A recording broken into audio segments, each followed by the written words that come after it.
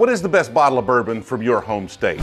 According to an article I found, Dettling is the best bourbon made in Alabama. So let's do a bourbon review of Dettling small batch bourbon. My name is TJ Gamble and this is Brewzle, which is just an elaborate attempt to make my bourbon selection a tax deduction. How is it a write-off? They just write it off. If you're into having fun with your bourbon and you don't take things too seriously and you want to help me reach my tax goals, then consider subscribing, hit that like button for me. That would help me out a whole bunch and let's get into it. I've had a bottle of Dettling before, but I ended up making a bourbon glaze out of it for some baby back ribs that I put on the big green egg. If that gives you any idea of what I actually thought of it. Now, it made a great glaze, but it just wasn't an excellent pour. But that has been many, many moons ago. Maybe this has got better. Maybe I've got worse. Who knows? So let's pop this open and give it a try. But we've had a lot of people ask about, oh, do you only drink your whiskey neat? And to make this a little more about the people, because not everybody's sipping it neat in a Glencairn,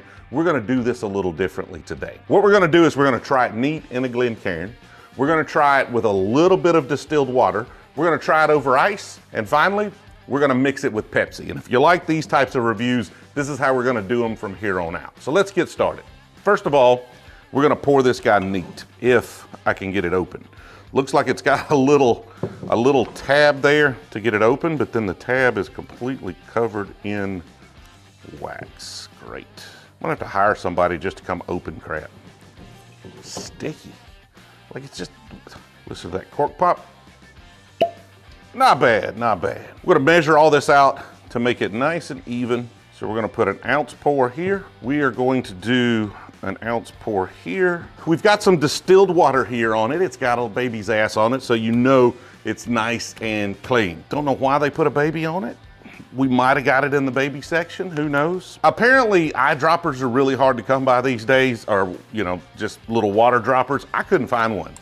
So we had to get creative and we're just gonna use, make the best of a bad situation here. And we're gonna try to see if we can get this brush out of here and use perfectly fine turkey baster. So now that we've got an ounce in there, we are going to try to put a quarter of an ounce of water. Okay, like that, that, no, okay, this is a terrible idea. Just, just a drop. We're just gonna, we're just gonna put a couple of drops of water. Maybe one drop with this thing. One, two, okay, there you go. Not a quarter of an ounce, A couple of drops. Quarter of an ounce was way too much.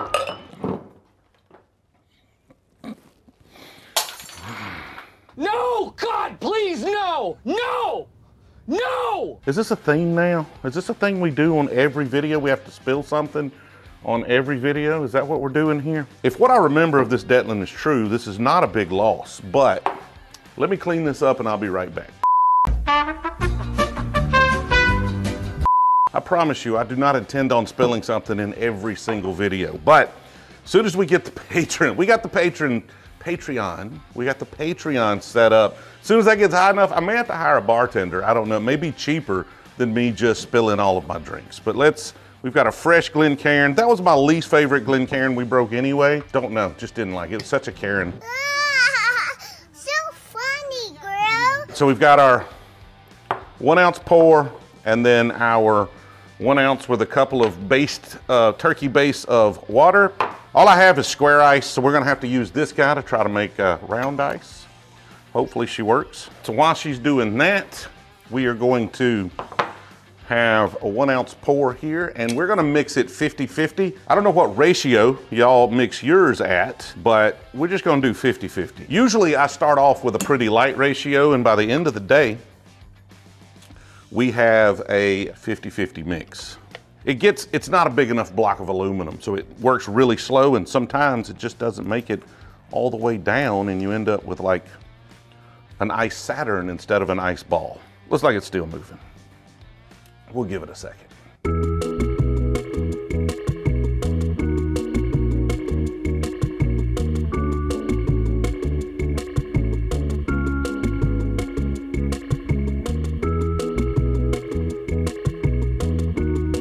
I think that's it. All right, so we're going to do this guy here. Drop that ice ball in there and give us a one ounce pour with ice. So we're gonna score this One through a hundred, with one being it's terrible, it sucks, I will never drink this again, ever. I may have to go to the hospital, and a hundred being the perfect thing we've ever had in our entire life. So let's start like we normally do, neat in a Glencairn. All right, so definitely, it's got kind of a dustiness, an oakiness. I get a lot of kind of leather tobacco flavor on it, on the, at least aroma. and it delivers on that. Definitely better than I remember. It's got like this weird kind of dark chocolate aftertaste to it. So you get that dustiness and a light leathery tobacco and just this weird dark chocolate bitterness on the finish.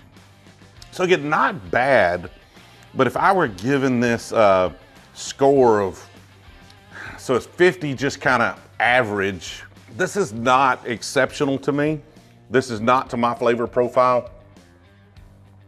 It's a little thin, it's a little bland. I would probably put this, not bad. So 50 being it's drinkable um, and up, I would probably put this in the high 50s. I'd give this like a 57, 58. It's definitely drinkable, and if you prefer those kind of tobacco-y leather flavors, this might be a nice easy sipper for you. So this is 80 proof, 80 proof, and um, they come in at about 40 bucks MSRP on those. All right, so let's try it now with a couple of drops of water. Very similar nose. It's already a really light, thin bourbon. Okay, so that, that brings that kind of bitterness forward a little bit.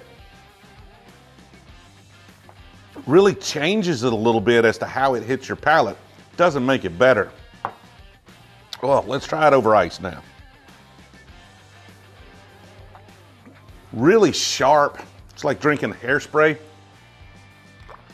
Ah, that's, it's not good over ice. You get some of that tea, but like it just brings this whole sharpness to the forefront. So how does it do with Pepsi? With Pepsi, that's a, it's worse. So it's like a 57 or so here, probably similar there. Here, it's like borderline undrinkable for me. That's like a, we'll call it a 51 with Pepsi.